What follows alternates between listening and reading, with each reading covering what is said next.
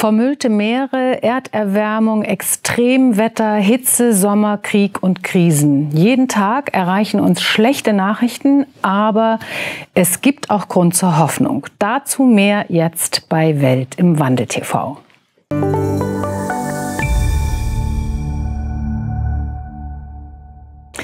Ich freue mich sehr über meinen Gast heute, Professor Dr. Ernst Ulrich von Weizsäcker, seit, ich glaube, über sechs Jahrzehnten engagiert für den Schutz der Erde. Wir sind uns schon ganz oft begegnet. Ich bin begeistert von deinem Engagement und deshalb duze ich dich auch. Ernst, wie schätzt du unsere Lage ein? Wo stehen wir? Das, was vor 50 Jahren Umweltschutz hieß, ist zum größten Teil in den reichen Ländern erledigt. Mhm.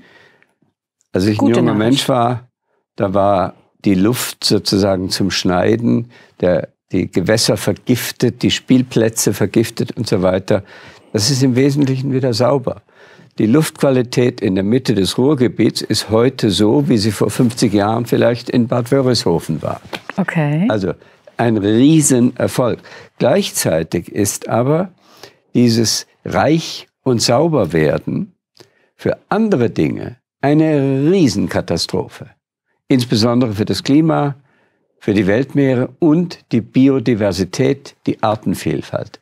Das geht so bergab, insbesondere zurzeit die Insekten. Das ist unglaublich. Also als ich ein mhm. Kind war, da hatte man überall Schmetterlinge. Die sind weg. Und wenn du jetzt darauf blickst, also du sagst, die Umwelt ist besser geworden, zumindest bei uns in den Industrieländern. Ähm, aber wir haben jetzt das Riesenproblem mit dem Artensterben zum Beispiel. Was gibt dir Hoffnung? In diesem Fall ist es, dass man plötzlich angefangen hat zu merken, dass da was faul geht. Beim Klima wusste man es auch schon ein bisschen, aber das Jahr 2018 hat plötzlich ins breite Volk die Erkenntnis gebracht, dass das Klima sich grausam verändert. Die äh, Landwirte haben geklagt, die Forstwirte haben geklagt, dann äh, war der Rhein praktisch nicht mehr schiffbar. Leute haben geschwitzt ohne Ende. Plötzlich haben die Le Leute in Deutschland gemerkt, ja, also das Klima hat sich verändert. Und zwar gewaltig und nicht zu unserem Nutzen und äh, in Japan äh, Riesentaifune und ich weiß was, äh, entsprechend in Amerika, in Afrika, überall mhm. auf der Welt schlimmste Veränderungen, so dass es plötzlich populär werden sollte, sich für den Klimaschutz zu engagieren. Das war vor zwei Jahren noch nicht der Fall. Da war, sagte man, ja, das ist für die Enkel. Mhm. Aber und für uns doch nicht. Jetzt ist es plötzlich angekommen.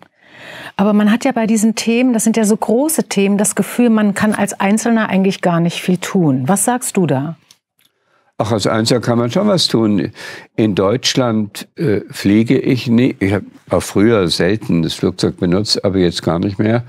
Und äh, man kann mit der Bahn fahren.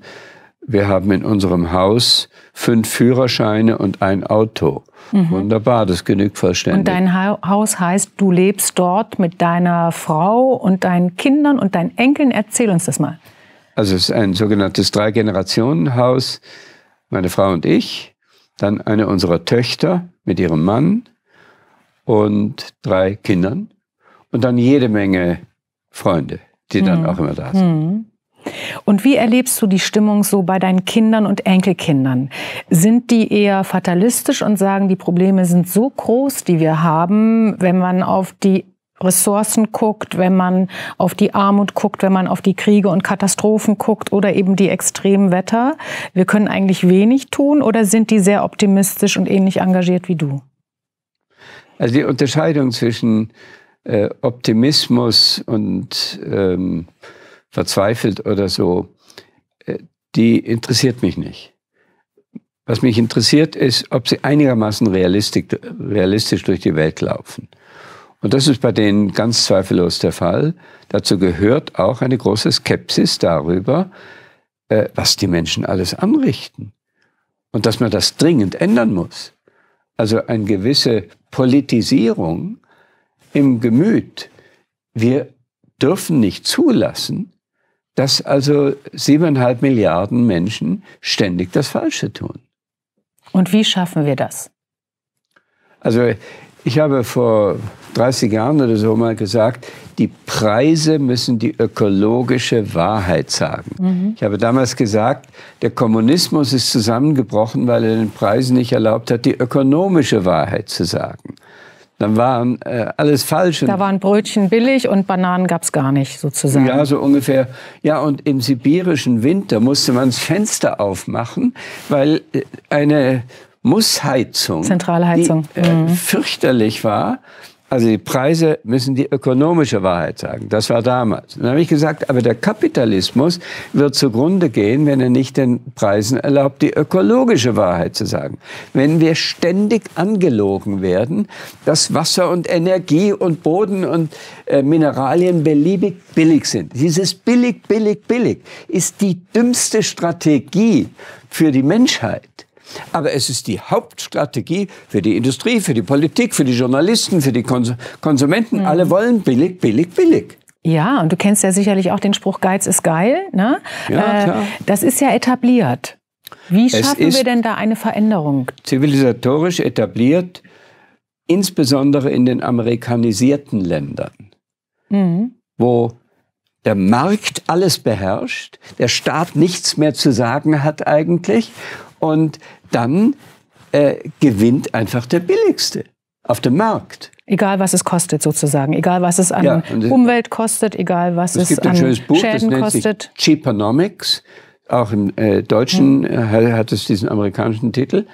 Und da steht einfach, wie das eine Gaunerei ist, dass die ganzen Kosten weggedrückt werden an künftige Generationen, an Leute in anderen Erdteilen und so weiter. Und das setzt sich auf dem Markt durch, weil der Markt dereguliert ist. Hm. Und wehe, wenn der Staat irgendwo was eingreift, so wie Fahrverbote oder irgend so etwas, dann wird geschimpft ohne Ende. Man schimpft immer auf den Staat. Dabei ist der Markt hauptsächlich der Schuldige. Hm. Aber das hieße ja, dass es einen Bewusstseinswandel braucht. Ja. Und Bewusstseinsveränderung ist, glaube ich, nicht so einfach. Welche Hoffnung hast du denn, dass es gelingt? Mit welchen Motiven, mit welchen Argumenten äh, kann es gelingen? Ja, also in unserem Buch Wir sind dran vom Club genau. of Rome haben wir, wir sind wir so weit gegangen zu sagen, Karte. wir brauchen eine neue Aufklärung. Mhm. Die alte Aufklärung, die war sehr gut für das 18. und 17. Jahrhundert und so, eine Befreiung aber sie ist heute verdünnt worden in Egoismus, Ego, ähm, Individualismus, ähm, Rationalismus, Utilitarismus und so weiter. Und immer Markt, Markt, Markt, Freiheit, Freiheit, Freiheit. Äh, Wachstum, das, Wachstum, Wachstum kann man Und Wachstum mhm. kam auch dazu. Im 18. Jahrhundert gab es überhaupt keinen Wachstumswahn. Mhm. Es gab es nicht. Das ist im 19. Jahrhundert entstanden und im zweiten, äh, 20. Jahrhundert aufgeblüht. Mhm. Die Idee, man müsse immer mehr wachsen. Und da gibt es ein schönes Beispiel von dir. Du hast mal einen Vortrag gemacht, da hast du die Küche von 1950 gezeigt. Da war irgendwie noch so ein, so ein Ofen mit drei Töpfen drauf. Der ja, ja. brannte dann irgendwie, wenn man kochen wollte. Und heute, die Küchen sind Hightech-Küchen. Aber früher wurde jeden Tag gekocht und in diesen Hightech-Küchen manchmal gar nicht. Ja, ist richtig. Also das letzte Bild, da vergleicht man das wunderschöne Sonntagsessen vor 50 Jahren genau. und dann dem gegenüber die McDonalds-Bude. Ja. Das, äh, das mit äh, Hightech und Riesenwachstum in der Küche. Aber dann nochmal die Frage, wie geht hier Bewusstseinswandel? Naja, das äh, ist bei verschiedenen Menschen sehr verschieden. Es ist völlig klar, dass arme Familien in erster Linie mehr Wohlstand haben wollen. Das mhm. darf man mhm. denen überhaupt nicht übel nehmen. Und ärmere Länder auch.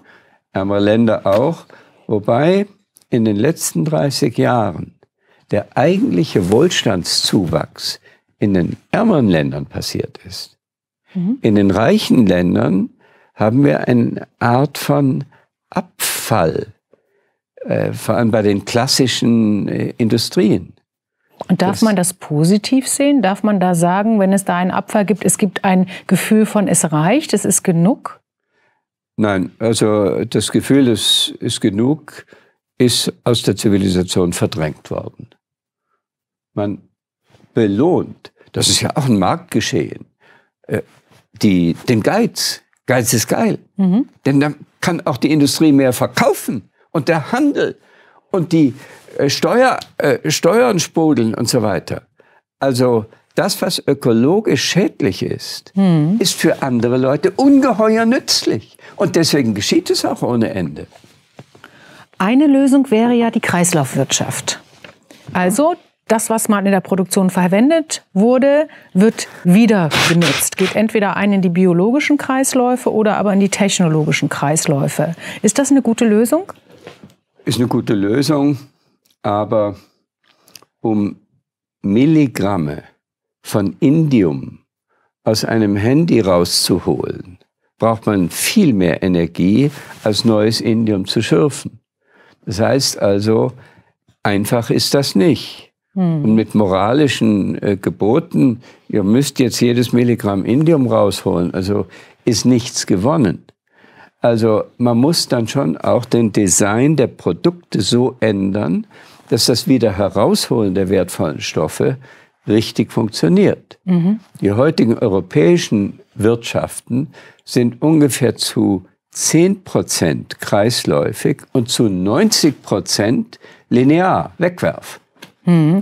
Und wenn man es eben in den Kreislauf bekommen will, dann hieße das von Anfang an daran zu denken, dass man es wiederverwenden möchte und dass dieses Wiederverwenden einfach geht.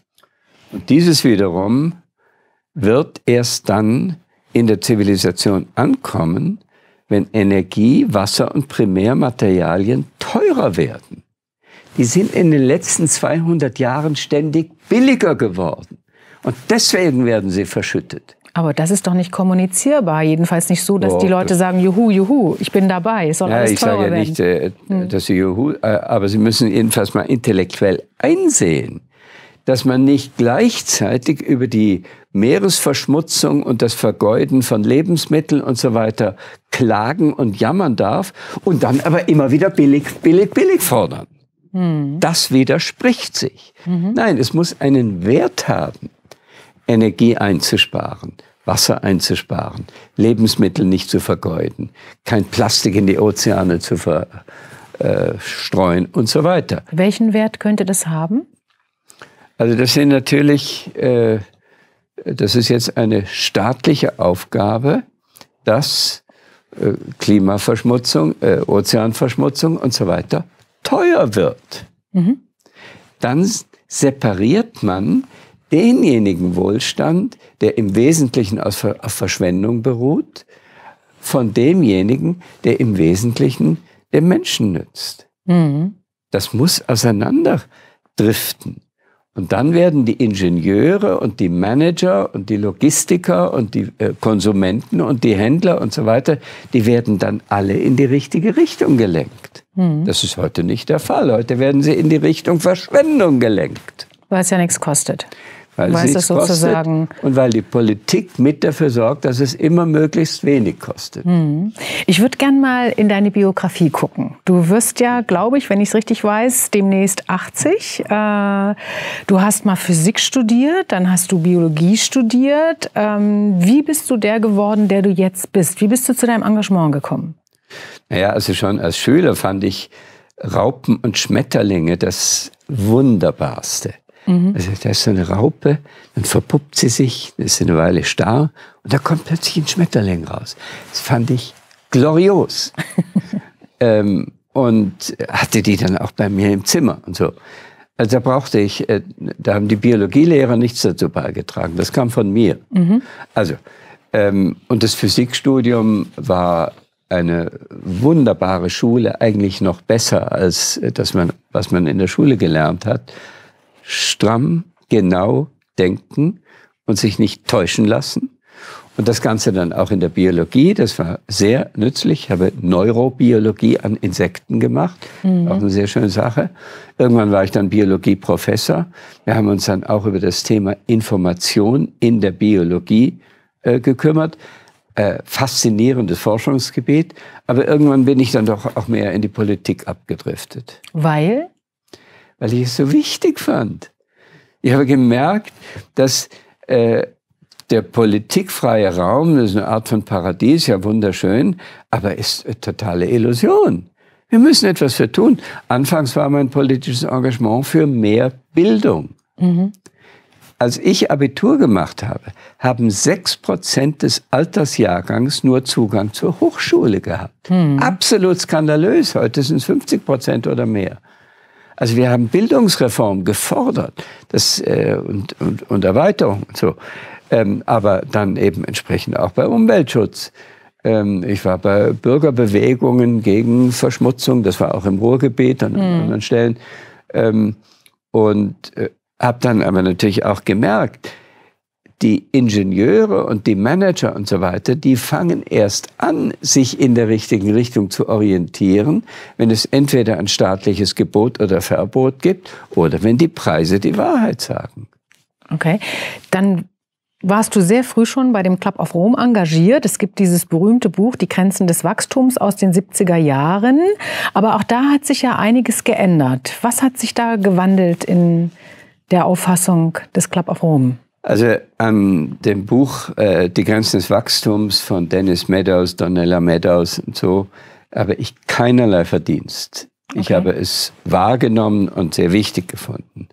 Ja, und seither haben wir ungefähr eine Verzweieinhalbfachung der Menschen, Menschheit. Mhm. Ja? Also nichts davon Grenzen des Wachstums. Wir haben sinnlos, besinnungslos einfach immer weiter mehr Kinder gekriegt.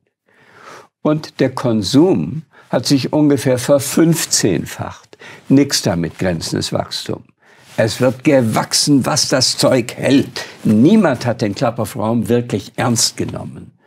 Ronald Reagan, der war kurz danach Präsident in den USA, hat gesagt, there is no such thing as limits to growth. Mhm. So einfach. Also keine Grenzen. Zu also wachsen. die mhm. Menschheit hat es nicht gewollt.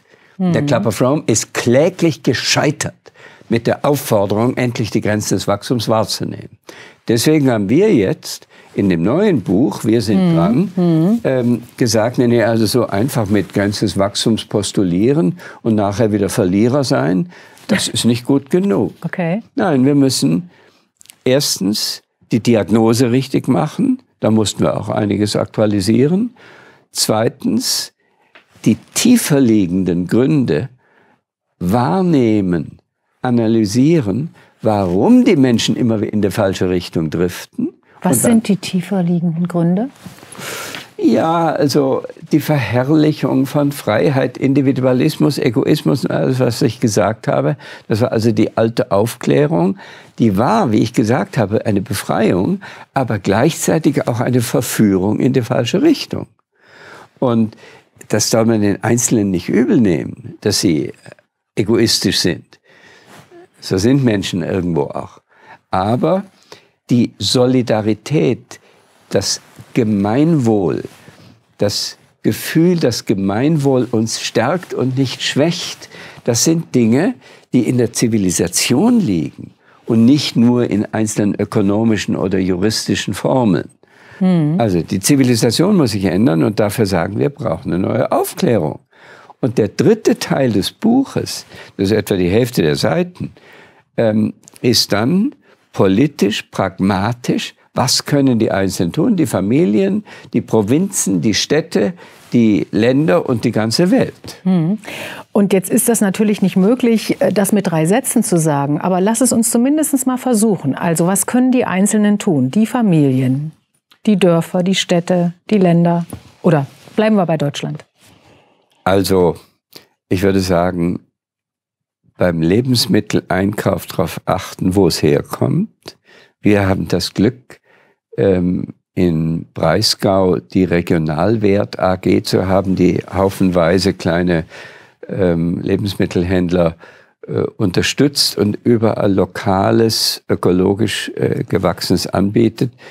Ähm, kann man aber auch in Brandenburg oder man, in Sachsen ja, oder in Thüringen nur, oder ja, ja, in Nordrhein-Westfalen hinkriegen.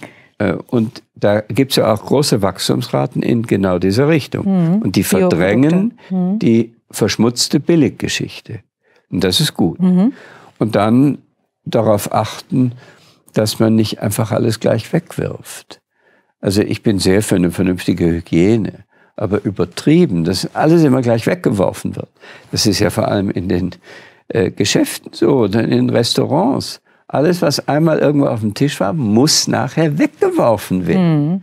Da kann man sich auch noch was, was Neues einfallen lassen. Mindestens eine Wiederverwertung für Hunde und so weiter, da gibt es ja auch schon eins. Aber ähm, äh, das ist eine Denkform. Und dann die Mobilität ist ungeheuer wichtig. Also so am Wochenende nach Teneriffa düsen ist verrückt. Mhm. Es ist vollkommen verrückt. Ja? Das nehme ich keinen Buchstaben davon zurück. Das ist verrückt. Und woran liegt das? Unter anderem an einem politischen Abkommen aus dem Jahr 1944, das Abkommen von Chicago, das verbietet die Besteuerung von internationalem Flugbenzin. Mhm. Ist das nicht Wahnsinn? Tja, 44 ist lange her. Das ist lange her. Mhm. Ja, das war die Zeit von Charles Lindbergh, mhm. als mal einer über den mhm. Ozean geflogen ist. Und, und als das noch in der Pionierzeit war. Aber ja. heute sind es Milliarden, die da über die Ozeane fliegen. Mhm. Das muss korrigiert werden. Man muss das Abkommen Aber kündigen. Warum ist das so schwer? Ich meine, der gesunde Fall Menschenverstand. Einfach, weil die ganzen Tourismusinseln, die sagen, ja, wir brauchen das, aber sonst haben wir kein, äh, kein Einkommen mehr. Was sagst du dann? Ich sage, wir müssen mit dafür sorgen, dass man auf diesen Inseln Wohlstand entwickelt, der nicht von, Flügen, äh, von Flugzeugen abhängt. Das kann mhm. man ja auch. Mhm. Jetzt hattest du auch davon gesprochen, diese neue Aufklärung, das Umdenken, sage ich jetzt mal, das Andershandeln in Städten und in Deutschland. Was ist, ist ja, also da, die, da wichtig? Die Städte, wir haben einen wunderbaren äh, Klapper-Fromm-Strategen, äh, äh, Herbert Girardet ist ursprünglich Deutscher, lebt aber in England seit Jahrzehnten. Äh, der ist so der Guru für ökologische Städte. Er war mal ähm, ein Jahr lang in Adelaide in Südaustralien und hat denen geholfen, äh, die Stadt so umzugestalten, dass sie plötzlich ökologisch wird. Mhm. Und heute ist Was hat er da so gemacht? Andere Baustoffe, äh, mehr Begrünung? Ja, Baust äh, also sehr viel Selbstversorgung auch. Mhm. Wasserverwendung, auch natürlich Wasseraufbereitung, das haben wir auch in Deutschland. Ähm, Grünflächen und Verkehr, Autoverkehr vermindern und öffentlichen Verkehr etwas vermehren, auch Radwege und so weiter. Und heute ist Adelaide von den Millionenstädten der Erde, ich glaube, Nummer drei oder vier in der Lebensqualität. Mhm, mhm, Wunderbar. Gut, und der hat ein wunderschönes Kapitel geschrieben für dieses Buch ähm, über die ökologische, die regenerative Stadt. Also nicht die Werte vernichtende Stadt, sondern die Werte schaffende Stadt. Wunderbar. Dazu gehören eben sehr viele infrastrukturelle Maßnahmen, die man machen kann. Ähm, und äh, auch Deutschland ist da gar nicht so schlecht. Also Karlsruhe ist ganz besonders gut, Freiburg auch, Hamburg ist auch nicht schlecht. Also ähm, äh, es gibt da sehr wohl äh, gute Beispiele ähm, und das kann sich äh, weiter ausdehnen. Nur wiederum, wenn der Treibstoff für PKWs so billig ist, dass mhm. tendenziell ähm, der motorisierte Individualverkehr den öffentlichen Verkehr ähm, preislich schlägt. Für die meisten mhm, Verrichtungen. Mhm, es gibt ja mhm. immer Ausnahmen. Äh, das ist schlimm. Oder dass die Lastwagen den Güterzug verdrängen. Das mhm. ist doch Wahnsinn. Das ist Amerikanismus. In Amerika ist, das praktisch, ist praktisch der ähm, Zugverkehr kaputt gegangen. Es gibt gerade noch ein bisschen Güterverkehr, aber Menschen kaum. Mhm. Als jemand, der sich eben also mindestens seit sechs Jahrzehnten mit diesen Themen beschäftigt, äh, der dann immer wieder erlebt, wie mühsam das ist, welche Aufschreie es gibt, wenn sich etwas verändern soll, äh, bist du erstaunlich gut gelaunt. Wie schaffst du das? Wie schaffst du das, dich also klar hinzugucken, wo wir stehen, die Probleme zu sehen und trotzdem bei guter Laune zu sein? Ja, das ist ganz einfach. Äh, ich bin gescheit genug, um zu wissen, dass wenn ich als Trauerbeutel darum sitze, ich nichts verbessere. Und wenn ich äh, an meine Enkel denke oder so, dann finde ich so Ärmel hochkrempeln. Und hm, du hast das ja auch schon gesagt, ne? dass wir eigentlich momentan auch immer noch, glaube ich, auf Kosten unserer nachfolgenden Generationen leben. Wie siehst du das bei deinen Enkelkindern? Sagen die auch, also Opi, wir haben eigentlich keine richtige Perspektive. Ihr habt so fehlgewirtschaftet, dass für uns nicht mehr viel übrig bleibt, außer Katastrophen? Also diejenigen, die sozusagen das höhere Schulalter erreicht haben, die fangen an, so in der Richtung zu denken. Die kleineren eher noch nicht. Die finden, finden es einfach äh, schön, wenn Oma und Opa auftauchen und so. Aber ähm, wenn ich mit den jungen Menschen der Generation, äh, wie nennt man die jetzt? Äh, YZ, ich weiß es auch nicht. Ich vergesse das also immer.